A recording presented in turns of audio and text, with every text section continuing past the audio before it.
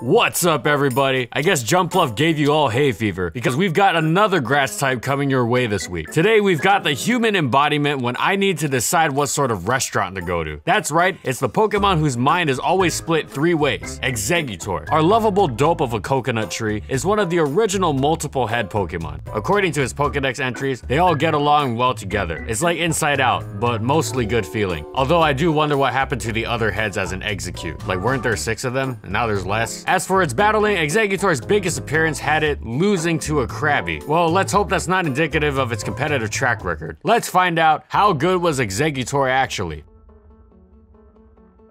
And in this video, we'll be covering these competitive formats.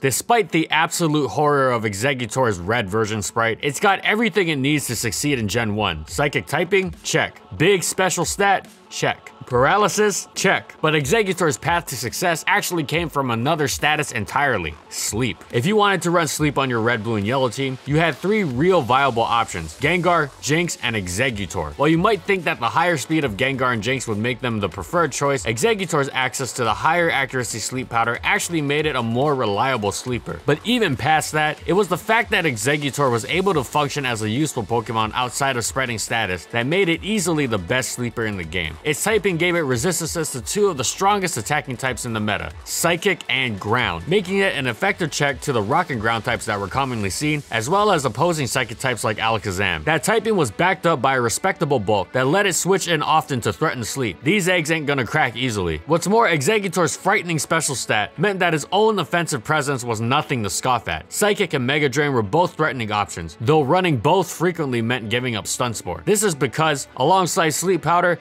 Had one other mandatory move, Explosion. With a combination of Sleep Powder and Explosion, Exeggutor was constantly threatening either status or the potential removal of one of your Pokemon. This was usually more than enough for it to win the battle against opposing Psychic types with high special stats, although it did have the option of running Double Edge or Hyper Beam if it wanted to shoot for a KO on Alakazam or Chansey without cracking its head open. In fact, Exeggutor's move pool was actually quite vast, especially for Gen 1. You had your choice of Reflect, Leech Seed, Rest, or even Egg Bomb, although none were recommended over any of the standard sets. Exeggutor had enough versatility for each of its three heads, but that didn't mean it was uncounterable. Its biggest weakness was its lack of reliable recovery. Pokemon that resisted its Psychic or took negligible damage could usually recover their health and win the stall war. This meant Pokemon like Alakazam, Chansey, and Starmie, while Pokemon that hit Exeggutor super effectively like Jynx, Lapras, and Zapdos similarly powered through. But straight up countering Exeggutor was hard. It was tanky enough that nothing was going to be killing it outright, meaning it always had a chance to potentially get a sleep powder off, and then blow up on your next counter. Thus, countering Exeggutor frequently meant absorbing sleep, which is something many Psychic types did well, and then threatening it outright. The single best counter to Exeggutor was Jynx, who was able to resist Psychic, freeze its coconuts off, and potentially get a sleep off beforehand. Jynx's relative lack of use outside of that role was actually a boon, since it meant getting blown up wasn't a big deal. Similarly, other strong Blizzard users like Lapras and Articuno could try to put the ice on Exeggutor, But Exeggutor's ability to effectively remove an opposing Pokemon in not one but two ways meant it was one of the hardest Pokemon to stop in the game. It wouldn't be pulling off sweeps, but that constant versatile threat put the burden on the opponent to stop it. And means Exeggutor is one of the best Pokemon in the entire metagame, right up there with Chansey, Snorlax, and Tauros as one of the big four of Gen 1. So going into Gen 2, Exeggutor certainly had high expectations to live up to, but with slightly diminished tools. Exeggutor lost a whopping 60 points of special defense, severely diminishing its ability to tank special hits. It also had to contend with all the Pokemon especially designed to take out psychic types, including Tyranitar, Skarmory, and Forretress. And although it still had important resistances to ground, electric, and water types, the popularity of Pursuit, Ice Beam, Fire Blast, or even a surprise hidden power bug could ruin its day because of its newly lowered stats. But despite all that, Exeggutor's specially seasoned exploding eggs were still a compelling enough reason to use it. Its primary set stayed mostly the same. Sleep Powder and Explosion to maintain offensive presence, and Psychic to deal with people over predicting. The biggest change was that while using a second attacking move had been somewhat optional due to the strength of Paralysis in Gen 1, here it was mandatory. You really needed Giga Drain or Hidden Power Fire, as now there were Pokemon that resisted both Explosion and Psychic, a feat that had never been possible before. Just like last gen, Exeggutor had enough moves to stuff an omelet with. You could always go Stun Spore to get around Sleep Clause if you really wanted to, or Leech Seed to force the opponent to switch even more. Toss those two moves together with Substitute, and if you had Spikes up, your opponent was forced to constantly switch, all while staring into Exeggutor's Exeggutor's three grinning faces. Hidden Power Fire meant that Exeggutor had enough straight attacking moves to potentially go completely down that avenue. After all, it has 125 special attack, but with no status, you likely weren't forcing the switches that made Exeggutor so effective. Finally, Exeggutor had access to the recovery it had sorely missed in the last generation in the form of Moonlight and Synthesis, but Exeggutor's lacking special defense meant that attempting to be a tank was somewhat out of its repertoire now. As for counters, the first strongest counters were those who didn't care about Exeggutor's big threat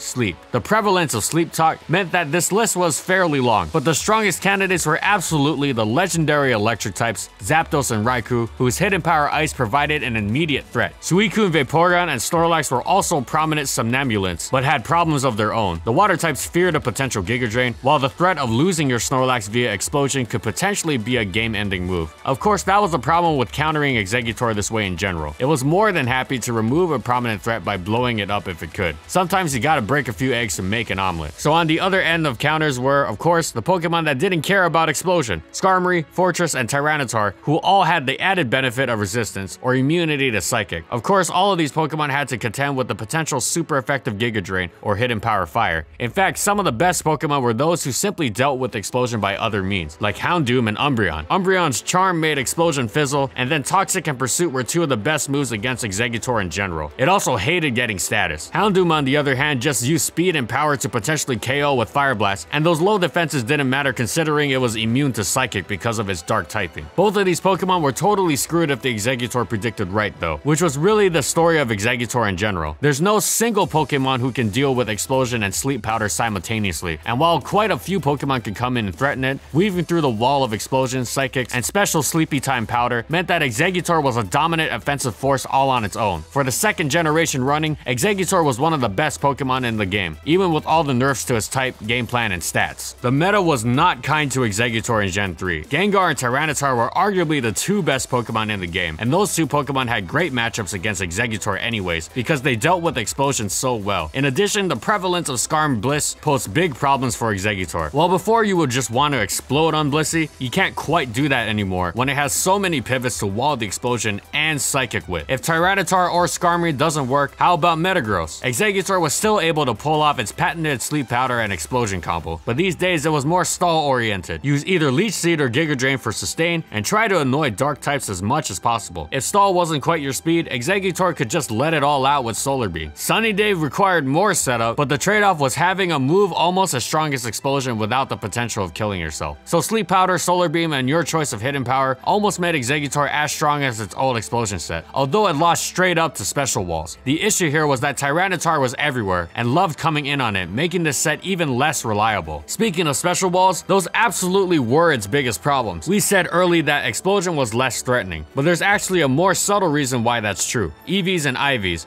What this means is that Exeggutor's attack was significantly lower, because he can no longer max out all stats. Exeggutor would still usually nab a KO on Blissey with Explosion, but the destructive power of that move was diminished overall. So with all that said, special tanks like Blissey and Celebi did well against Exeggutor not only because Explosion was less threatening to them, but because it was less threatening in general. Other counters included pursuit users like Houndoom, T-Tar, and Metagross, and status still ruined it, as did the other resident trapper Dugtrio, whose hidden power bug would cut down Exeggutor easily. Although Exeggutor was in borderline, it was dangerously close to tipping into underuse as one of the least used and overused, a far cry from the fun it had before. It does have to be said, however, that with its brand new Chlorophyll, Exeggutor could potentially function in Ubers alongside Groudon, like a certain other Pokemon we covered last week, as one of the fastest sleepers in the game, with a destructive solar beam to boot, or even subseed. As time went on, Exeggutor's low speed and special defense made it more and more vulnerable. Gen 4 gave it some nice new attacking moves in Leaf Storm and Low Kick, but it wasn't quite able to muster the power necessary for overuse. Just look at the most defining Pokemon in the meta, Scizor and Heatran, and it should be clear that there wasn't really any place for Exeggutor to do his thing. It wasn't all bad though, because this is one of those cases where dropping to a lower tier increased its prominence. Gen 3 had Exeggutor in the worst of both worlds, underwhelming and overused and exiled from underuse. Able to run and underuse, Exeggutor wreaked the sort of havoc it had been capable of in Gen 2. That incredible special attack let it punch holes in anything it wanted to with Leaf Storm and Psychic, all while keeping itself topped off off with Synthesis, more threatening in the relatively weaker attacking environment of Underuse. Once you couldn't punch holes anymore, what else but Sleep Powder? Well that said, focus on sticking around and dealing consistent damage, Exeggutor could also go full attack by simply switching from lefties to Life Orb, throwing in a low kick or explosion, and tossing on attack EVs. And that support move pool made Exeggutor as unpredictable as its three heads, as it could run Sunny Day, Dual Screens, or even Trick Room. Exeggutor was great in underuse, but it was still underused. And while Exeggutor continued to be outmatched by other Pokemon, it did enjoy a brief moment in the sun in Gen 5. Like literally, this thing has two sun abilities. While Harvest wasn't even seen too much in overuse, Chlorophyll boosted Exeggutor's lackluster speed to, well honestly not even that high. Its base 95 attack actually isn't that bad, and Explosion was gutted this generation. Thus, Exeggutor was perfectly capable of running a mix set, which had the unique benefit of being able to lure Sun Team counters like Heatran or Tyranitar and then KO them. Wood Hammer and Nature Power made for strong counters to Heatran and Tyranitar, while Leaf Storm or Psychic hit from the stronger special attack that threatened most other Pokemon. In its final slot, Hidden Power Fire was obviously strong on any Sun team. Of course, Exeggutor was completely able to go full special attack if it wanted to. Exeggutor could even attempt to spec into its physical side due to its access to Swords Dance and good physical move pool as well. Exeggutor could potentially also run Harvest Sitrus Berry. This let Exeggutor fully replenish its HP from the loss associated with Substitute. Of course, that meant you lost the Chlorophyll boost. That lack of speed was Exeggutor's biggest downfall. Even in the sun, most Choice Scarf Pokemon outsped him because of his low speed. Choice Tyranitar, Choice Terrakion, they all invalidated the only reason Exeggutor was usable in the first place and turned him back into the never used Pokemon he pretty much was. Not to mention any other weather would do the same. What's more, Pokemon who targeted his other horrible stat, Special Defense, destroyed Exeggutor. The Latis walled him completely and eviscerated him, while Volcarona thrived in the sun as well and could set up Quiver Dance. While Exeggutor was seen in overuse occasionally because of the sun, this is one more Pokemon who was seen in many incarnations mostly because of its ability to abuse weather. In terms of usage, Exeggutor was still solidly a never used Pokemon. At least down there, it was fully capable of using both its abilities to the fullest. Harvest may have been a niche strategy in singles, but in doubles, well, it was still a niche. But when you're Wolfe Glick, that doesn't matter. If you don't know about Wolfe and his Exeggutor, it's a torrid love story with the best of them. His old blog was even called Eggy Emporium. Wolfe took an incredible Harvest Exeggutor all the way to second place at his first ever Worlds in 2012, before eventually being stopped by the future champ Ray Rizzo. This team is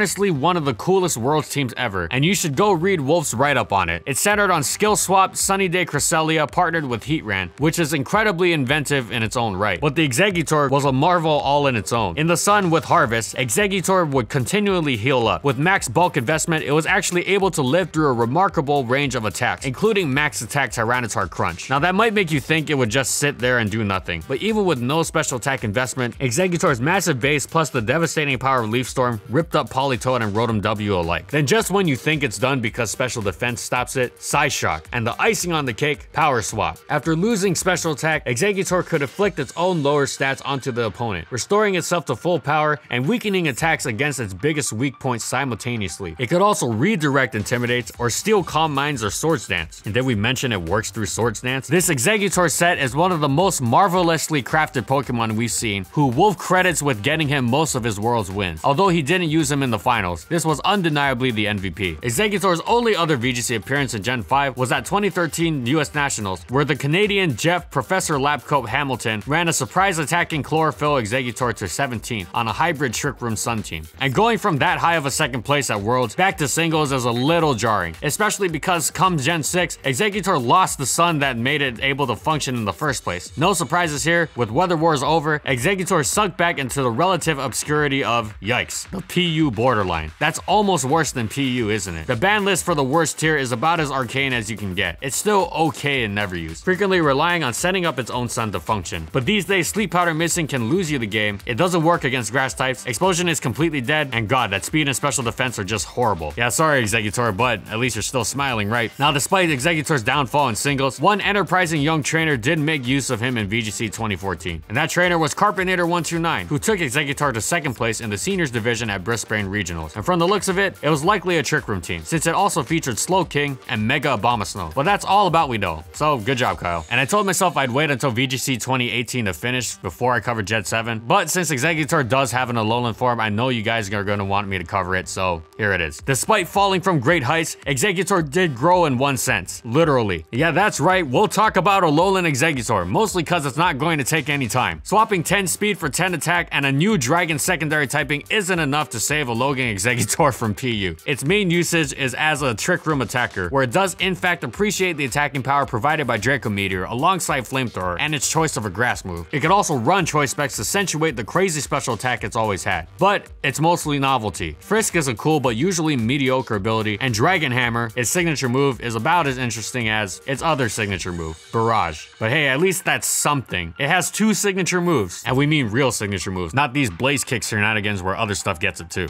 Regular Exeggutor is, if anything, worse because of its less useful defensive typing and the relative uselessness of its other abilities. Now on to doubles. Of course, Wolfe tried to make Alolan Exeggutor work in doubles, he even released an extensive analysis of the Pokemon, but uh, yeah, let's just say it's less useful than his World's Analysis article for sure. But Wolfe's nothing if not committed. So true to his word, he brought a Trick Room Leech Seed Harvest Exeggutor to the One Nation of Gamers Invitational, where he promptly went 0-2. So was it worth it, Wolfe? Yeah, it probably was. And that's it, so how good was Exeggutor actually?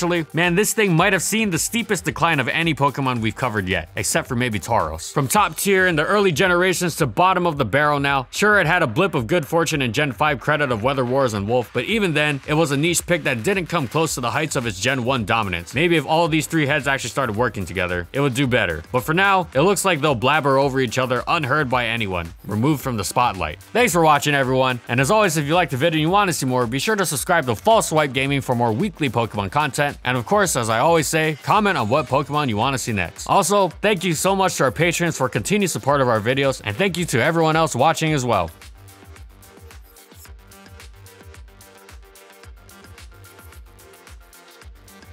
And follow my crew on these social media platforms, yada, yada, yada. And that's all I got. See you next time, everyone.